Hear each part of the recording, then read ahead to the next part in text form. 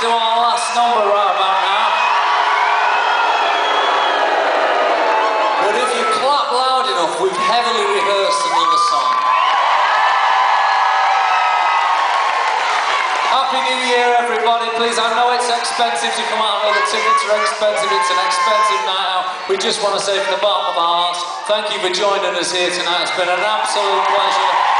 First time playing in Oxford,